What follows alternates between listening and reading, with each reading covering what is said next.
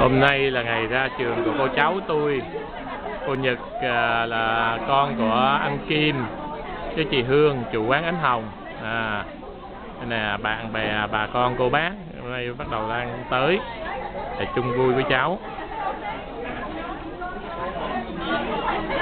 Bong bóng Đồ ăn, thức uống.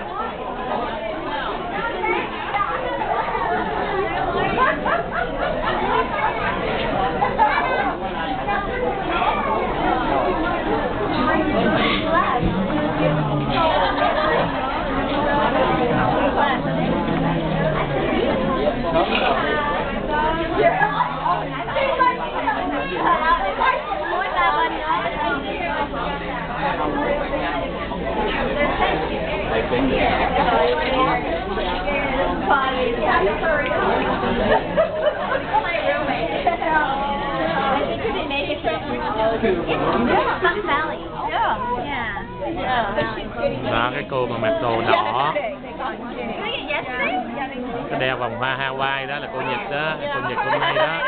Hôm nay ra trường Yeah, um, he, he um, set everything up in advance for them to go, for her to go, and I was the ploy. Come to- thank you con Uh, she, she actually come down.